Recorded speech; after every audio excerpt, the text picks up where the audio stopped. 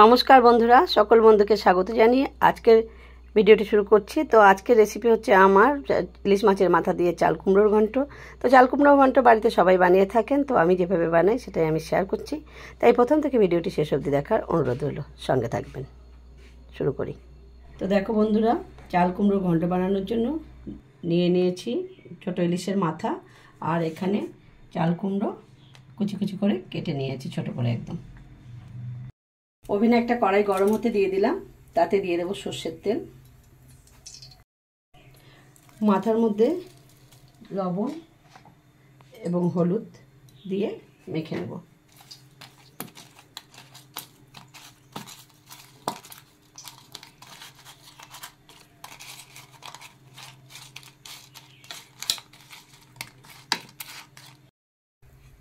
তো তেল গরম হয়ে গেছে, মাথাগুলোকে আগে আমি ভেজে নেব।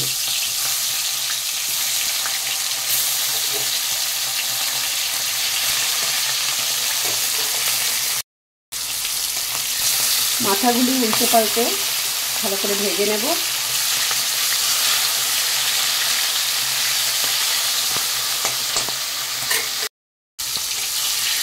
তো মাথাগুলিকে উল্টে পাল্টে ভেজে নিয়েছি এবারে তুলে নেব।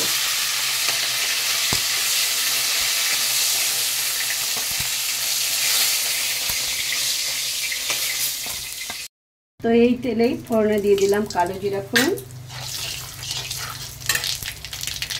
এরপরে শুকানো চাল কুমড়ো দিয়ে দেব।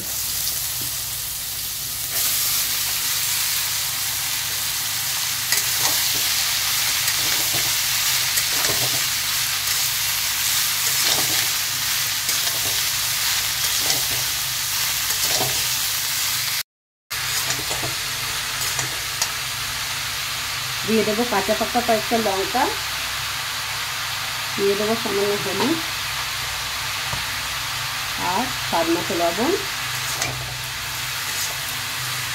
দিয়ে সমস্ত কিছু ভালো করে মিশিয়ে নেব। পরে ঢাকা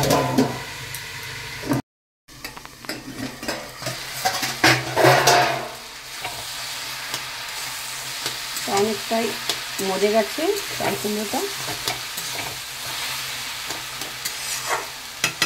এরপরে মাথাগুলি দিয়ে দেবো।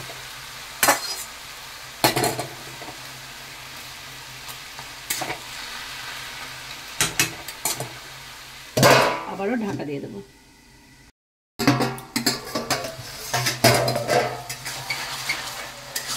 তো অনেকটাই হয়ে এসছে। ইলিশ মাছের মাথা দিয়ে চাল কুমড়োর ঘন্ট। তো আর একটু ঢাকা দিয়ে রাখব তো হাফ চামচ চাল গুঁড়ি নিয়ে নিয়েছি, সেখানে সামান্য একটু জল দিয়ে তো ঘণ্টার মধ্যে দিয়ে দেবো।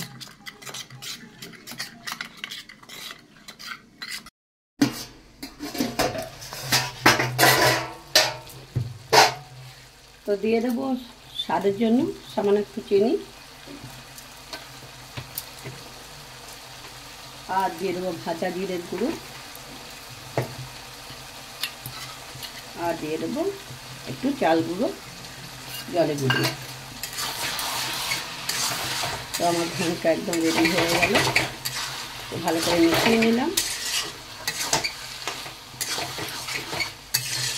ইলিশ মাছের মাথা দিয়ে চাল কুমড়োর ঘন্ট। তো একদম রেডি হয়ে গেল। এখন সমস্ত কিছু মিশিয়ে দিয়ে তো ঢাকা দিয়ে রেখে দেবো। বন্ধুরা দেখো, অনেকক্ষণ রেস্টে ছিল, তো আমার চাল কুমড়োর ঘন্ট একদম রেডি আমি এখন পরিবেশনের জন্য নামিয়ে নিচ্ছি।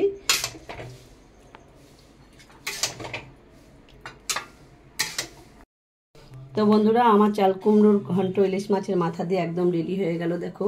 দেখতে কেমন সুন্দর হয়েছে, খেতেও হয়েছে সেই টেস্টি তো তোমরা এইভাবে বানিয়ে, বাড়িতে বানিয়ে খেয়ে দেখো, এরকমই সুন্দর টেস্টি লাগে। আর ভিডিওটি ভালো লাগলে একটা লাইক করতে ভুলো না কমেন্ট করে জানিও কেমন লাগল। আর নতুন বন্ধু হয়ে থাকলে আমার চ্যানেলটিকে সাবস্ক্রাইব করার অনুরোধ রইল। তো ভিডিওটি এখানেই শেষ করছি। ভিডিওটি দেখার জন্য ধন্যবাদ।